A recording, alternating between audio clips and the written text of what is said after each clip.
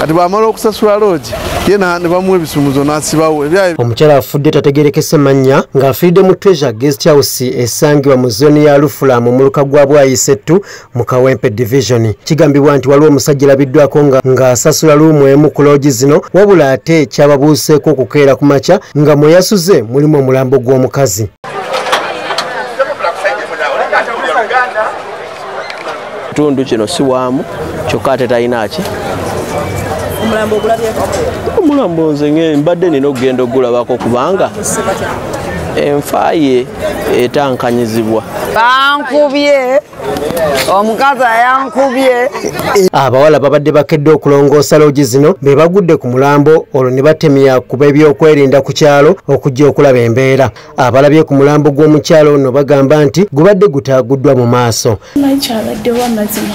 Kedde ku makya nga waliwo adde agenda okusiimuula yazze n'amusangayo.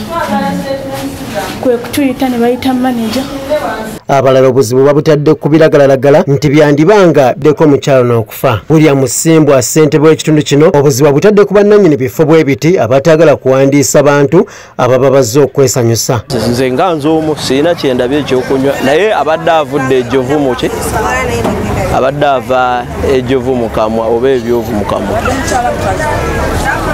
gavumenti waliwo emotoka ezipakinga ano nga za gavumenti nasaba loogi agenda sula naye bwamala omumuwa loogi nafuna oba gwatuma waliwo babuloka babakazi wano nafuna omuntu namuleetera ayinza omuleetera nga basatu oba bana agamba oyo simwagala namuzaayo abo abanene mu gavumenti poliisi okuva ekawempe etuuse ne yeekebejja omulambo era abawala bakola mu loogi zino batwaliddwa ku poliisi okugiyambako mu kunoonyereza kwetandise